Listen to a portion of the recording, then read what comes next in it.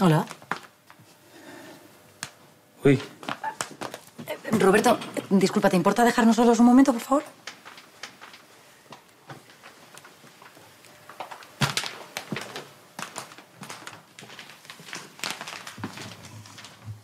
veo que ya tienes sustituto. Sí. Y tiene un currículum impresionante, la verdad. Ya, ya, ya. Pues entre su nombre y su cara no parece una persona muy divertida, ¿eh? Medina, si has venido a pedirme otra vez que no desenmascare a la doctora Chamorro, es decir, a ti, en la radio, no lo vas a conseguir. Así que si no tienes otra cosa que decirme, te puedes marchar porque aquí tenemos muchísimo trabajo. Sé que no me vas a desenmascarar. ¿Quién te crees que eres, Medina? ¿Ahora vas en plan arrogante? No, no. Sé que no lo vas a hacer, o bueno, eso quiero pensar porque sé que sabes lo mucho que te quiero y yo sé que tú me quieres mucho a mí. Mucho más de lo que has querido a cualquiera de esos tipos que tuve la oportunidad de conocer.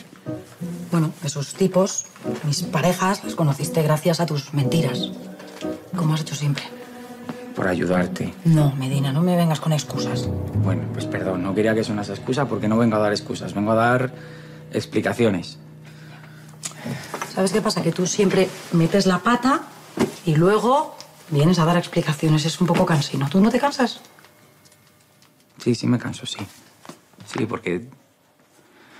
Porque sí, tienes razón, te he mentido muchas veces, eh, demasiadas. Te he mentido de todas las maneras posibles, me he metido en jardines y en charcos de los cuales, pues, eh, luego no sabía salir, pero... Pero mira, hay una cosa en la que nunca te he mentido. Eres la mujer de mi vida, Sonia. Y sé que te he dado motivos para desconfiar, pero... Por favor, no desconfíes de esto. Porque es que yo nunca he conocido una mujer como tú y. Y sé que nunca voy a conocer una mujer como tú. Muy bien. Así que has venido a hacerme chantaje emocional. Fantástico. No. Pero he de confesarte que venía. Sí, para convencerte de que no me delates en la radio. ¿Lo ves? Lo que pasa es que luego llego aquí, te miro a los ojos y me acuerdo de que para mí lo más importante no es eso. Para mí lo más importante es no perderte. Y bueno, también me alegra ver que no te has deshecho de esa cosita verde que nos unía.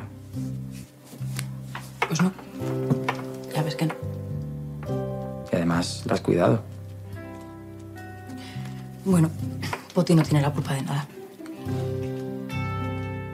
Pues fíjate que yo he parado en una floristería porque leí un artículo el otro día de que los potos necesitan fertilizante, al parecer, para crecer sanos y fuertes. Así que, pues, bueno, he parado para comprarlo y ya te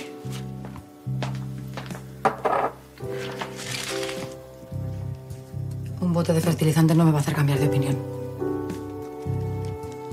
Son dos gotitas a la semana. Vale.